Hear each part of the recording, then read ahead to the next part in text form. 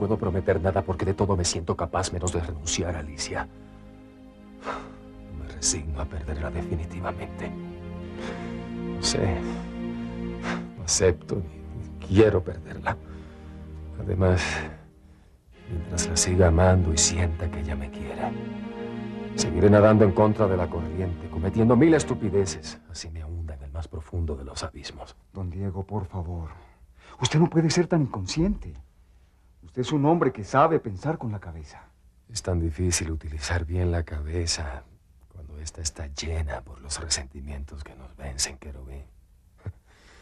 Y me da mucha vergüenza tener que admitirlo, pero debo reconocer que me estoy dejando vencer por la rebeldía y por el rencor que me carcomen desde el mismo momento en que Amador llegó. Pero una sola cosa tengo clara, querubín. Amador y yo no podemos respirar el mismo aire. Uno de los dos tiene que desaparecer para que el otro pueda seguir viviendo.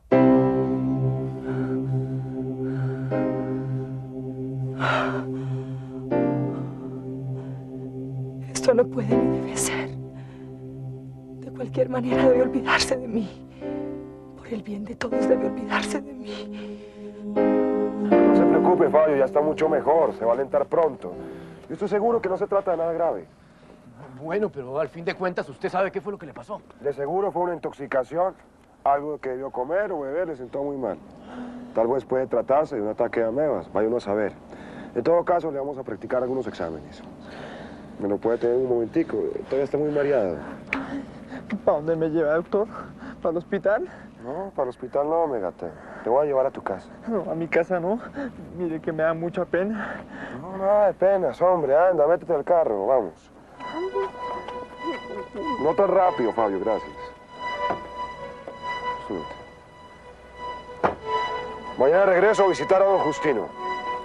Que pases buena noche, Fabio. Muchas gracias por todas las molestias, doctor.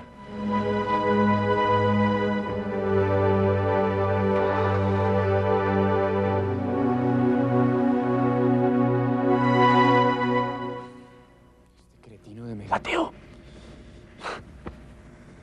Tarado tenía que ser. Megateo, perdona. Por aquí es la calle donde queda la casa donde vives. No, señor, un poquitico más arriba. De verdad que qué pena que se haya puesto en estos trajines. Bien cansado que saldrá del hospital. Para que ahora se ponga a servirme de chofer. ¿Qué pasó, doctorcito? ¿Por qué ha frenado de esa manera? Espera un momento acá, Megateo.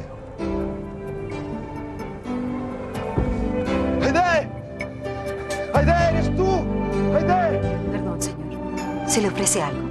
¡Aide! No me reconoces, soy yo. Soy Dimas. Perdón, señor, yo a usted no lo conozco y creo que se ha equivocado conmigo. ¡Aide, eres tú! ¡Aide, mírame! No me toque, haga el favor de respetarme y no se vaya a aprovechar de mí porque estoy sola. ¿Qué pasa? ¿Cuál ID? Yo no soy ninguna ID. Si no me deja en paz, empezaré a gritar. No. Yo no quería hacerle daño. Me confundí. Vuelve, quiero la eternidad.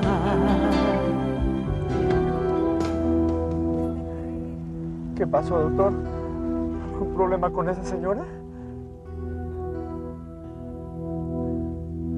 ¿No la reconociste, Megateo? Claro que no. Es la primera vez que la veo. ¿Por qué?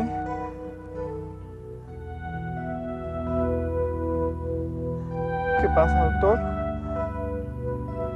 ¿Qué pasa?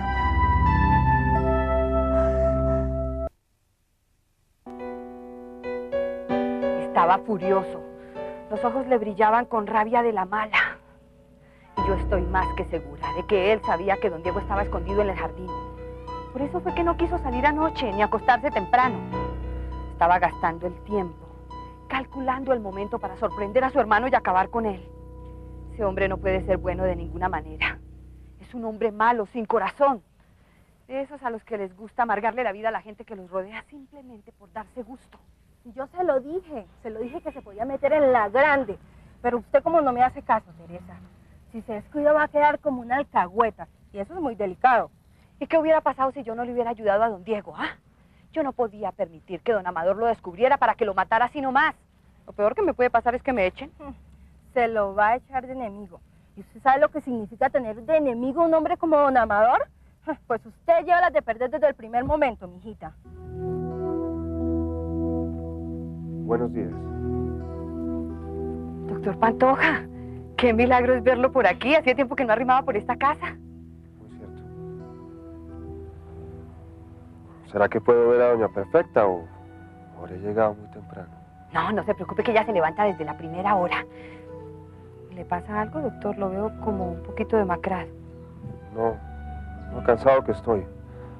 Anoche tuve turno en el hospital y luego me tocó atender a Megateo. ¿A Megateo? ¿Y qué le pasa a ese pobre cristiano? Estaba vigilando a don Justino y de pronto se sintió muy mal. Parece que tiene una fuerte intoxicación. En este momento debe estar en su casa. Yo le ordené que descansara. Pobre hombre. Siga, siga a la sala, doctor, mientras yo le aviso a doña Perfecta que usted la está buscando. Ya no te sigas preocupando más por mí, mamá. Estoy bien. ¿Lo oyes? Perfectamente bien. Además es natural que yo me haya puesto nervioso cuando pensé que ese ladrón se había colado en la casa. Pero ya pasó. ¿El revólver ese dónde lo tienes?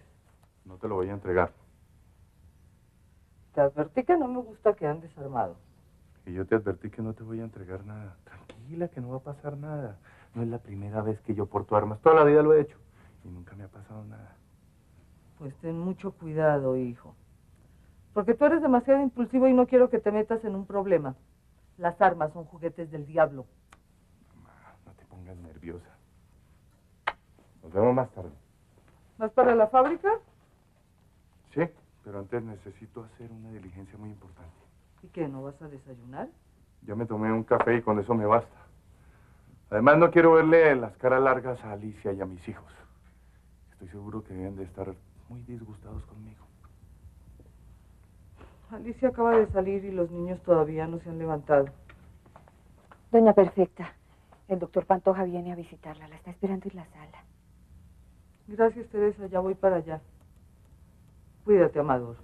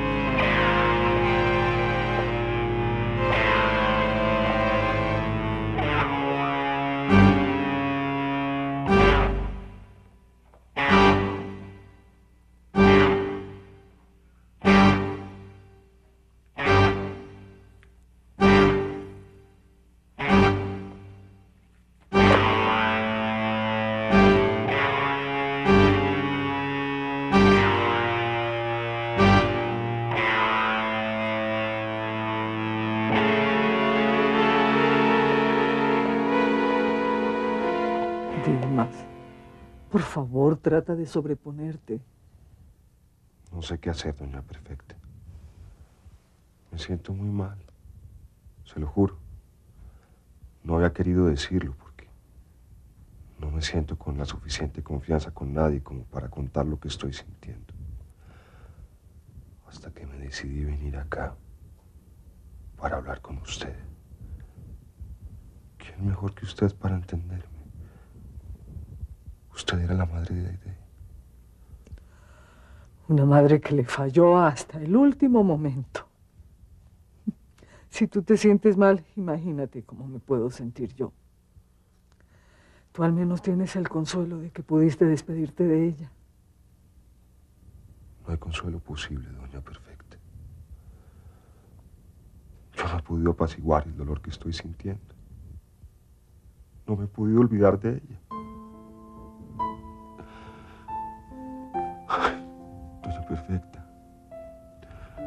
Nunca pensé que esto me podría pasar a mí.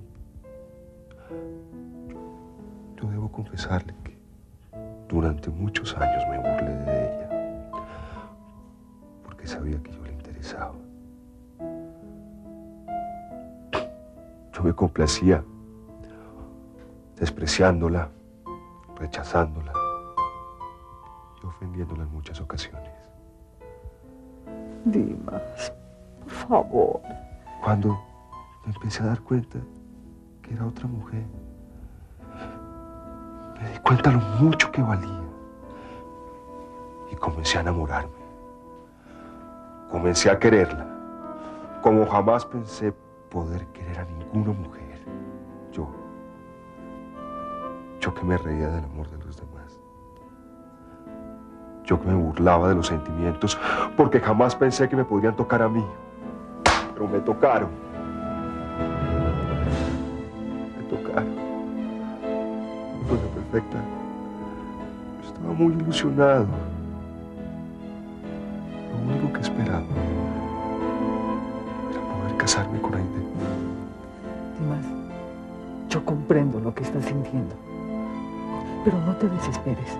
Tú estás joven y va a pasar poco tiempo para que tú puedas recuperarte de este golpe.